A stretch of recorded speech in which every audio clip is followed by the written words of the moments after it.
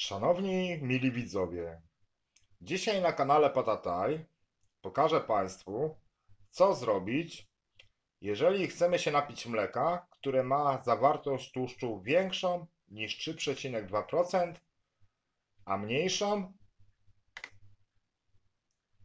niż 4% tłuszczu. Mili widzowie,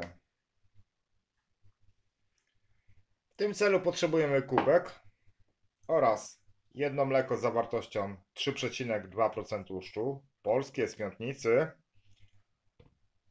oraz 4% tłuszczu, cerstwe mleko, z Czeskiej Republiki.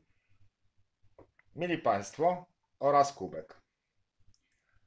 Odkręcamy nasze mleko polskie.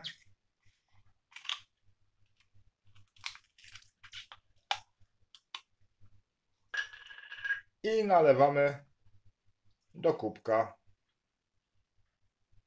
Powiedzmy pół kubka. I tu mamy mleko 3,2% tłuszczu, przypominam.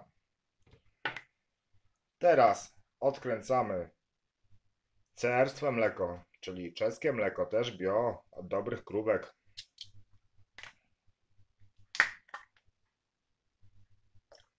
I dolewamy do pełna.